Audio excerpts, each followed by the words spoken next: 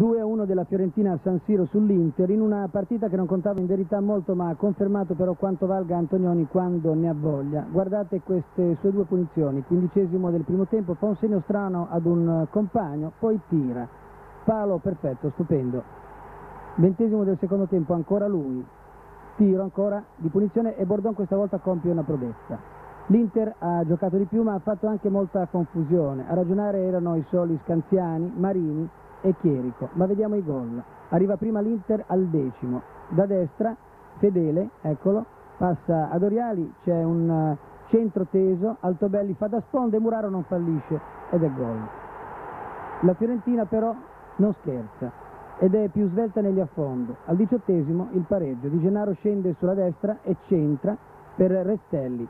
Tiro debole ma in effetto, Bordon non trattiene e Sella in sacco. Poi nel secondo tempo il capolavoro della Fiorentina, o meglio di Restelli. L'ala tocca a Sella e va via.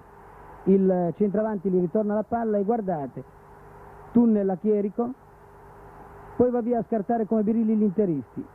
Potrebbe essere il gol della domenica. Lui raccoglie l'abbraccio dei compagni e la Fiorentina gli ultimi due punti del campionato.